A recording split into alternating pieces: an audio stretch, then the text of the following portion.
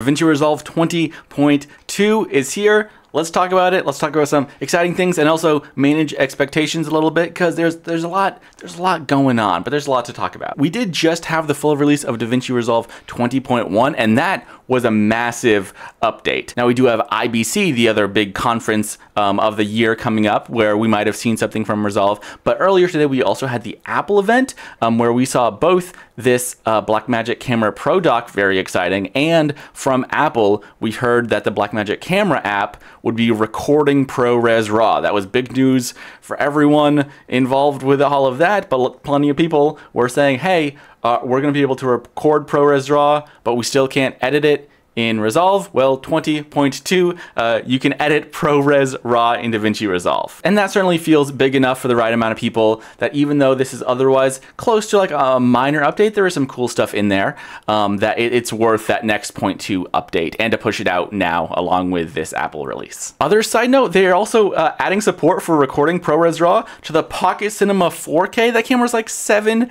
years old wild that it's also just getting this new feature. And they made this Pro Dock. That's pretty cool. As always, I highly recommend going over to the support page of DaVinci Resolve, um, where you have these latest downloads, this Point 2 and Studio Point 2, um, but also some really more valuable resources. Um, they have a link to this new video walking through directly from Blackmagic these new features. They also put this on their YouTube channel already.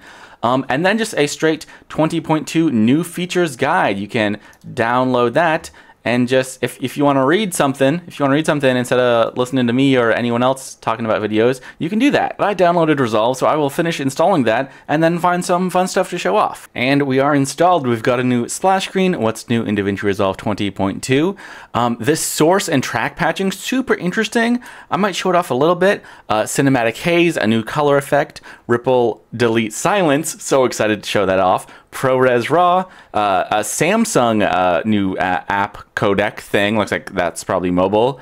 A large trim editor, custom metadata fields, and Ripple uh, edits always in sync. Uh, yeah, Ripple deletes sneak up on a lot of people. Let's hop in and check it out. I'll make a new project, open it up right to my timeline, where I will make a new timeline. There are some exciting things I want to show off first, but, but right off the bat, you know we gotta check uh, generators, Stirling Supply Co. Proto.3 on the timeline. Are we still working? Check it out. We got amazing distorted and glowing text with 25 presets. Not just for text, change it over to other shapes or custom path um, pull in any images, or even look at your media pool where you can drag and drop clips in and have fantastic uh, outline glow effects in seconds. Uh, that's Proto V3 available now, link in the description. And hey, it looks like it works great in Resolve 20.2. Let's look at what else is new in Resolve 20.2. I think the thing I am most interested in, I'll go ahead and drag in this clip of a recent video of mine looking at an update for Proto. And if I select this clip, make sure I select both the audio too, and come up to clip audio operations, ripple delete silence, we get this new pop-up and if I zoom in, it's looking and selecting gaps in this video clip. You can change this threshold, you can change um, all these sorts of controls or even a minimum if you want to set a minimum before it counts. But once you click remove, it gets rid of all those gaps and automatically ripple deletes. We had a, uh, a thing in a previous version to recognize the gaps just on the audio layer. Now it can do it automatically with video too super slick. While we're here in 20.1, we also got this uh, operation when you could hold C and sort of trim in your timeline. Uh, but it looks like if we hold C, you can also now trim in your viewer as well. Small quality of life, but pretty nice. I'm gonna grab the Resolve logo and come down here to show off some fun new keyframing updates. If I slide it over here, keyframe, and slide it over here, or here, open up this little edit page keyframe view. And now if I go over to this curves, we have a much more complete toolbar here. If you right click to add some easing, you can do that or just uh, adjust these easing uh, by, by these points, really slick. But I wanna show off um, uh, some of the some of the cool things that can happen um, with this new layout. Previously, we had like one column of button here that sort of synced up um, this like sync lock and uh, you could tell Resolve like which track you wanted to talk to if you was using like keyboard shortcuts or dropping an effect on a clip. That was useful, but especially if you have multiple clips, um, this is much easier to just drag and drop. If I just add a track here with some different video clips and scale these down, you can just drag and drop this selector now in between different different tracks to quickly select a different track. That's pretty slick. And also this sync lock um, exists on its own as a setting. So if I disable this and then try to ripple delete this first track, it won't affect anything on the second track.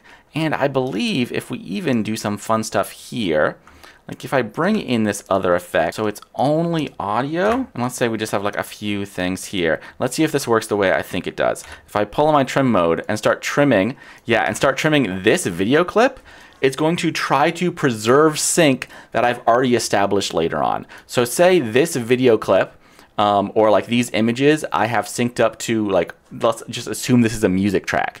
And like that sync is precise. If I want to shrink this, this uh, you know, single video track here, if I trim that in, it is now cutting that audio track. So it is maintaining sync on everything else. Now, if you don't want it to do that, just uncheck this disable sync lock and then it will uh, just pull over uh, everything and ignore that completely. There are a handful of new behaviors here, so I would absolutely point you over um, to this like new features guide for 20.2. It runs uh, runs through a lot of the like minute differences here. You saw these new guides in 20.1. I believe like maybe these colors are new and like some of these extra settings to like lock them. So if you need those, um, you can uh, have easier access to these in Fusion. Um, some fun like Fusion Immersive and especially like the Vision Pro I believe you can like send your Fusion output output to like monitor right to the Vision Pro. So if you're doing more like VR or 180 work, that could be super slick. And some things I'm really excited to see some like other more color focused channels talk about. We have this new like fog effect that uses like the built-in depth map in Resolve that looks great, um, as well as uh, effects we might have seen in 20.1, but we're getting more info on those now. Some like split tone effects and different like color like preset type effects um, that in the quick demo that uh, that Blackmagic has already shown off on their channel and their YouTube, they look great. And on top of that, you got some like new custom metadata fields, some other stuff for a small update, not many as new like exciting features as we got in 20.1, um, but I'm sure for a whole swath of people, ProRes RAW will be enough. Maybe I'll try to find a clip to work around with soon. But for me personally, even this delete gaps feature, that's awesome. New feature in Resolve 20.2 cool. I'll keep poking around, see if I find anything I especially want to show off. Um, I will drop links in the description or the comments if other friends of the channel make videos showing cool stuff that I didn't go into as much depth on. Um, but let me know what you were excited for. If you uh, especially use ProRes RAW, let me know if you just like this ripple delete, or if you just want more info on Proto, which I showed off, uh, link to that will absolutely be in the description as well. I've also made videos about that for like the past week, if you missed some of that. That's all I wanted to show off, because update day is always very exciting. Thank you so much for watching, and I'll see you next time.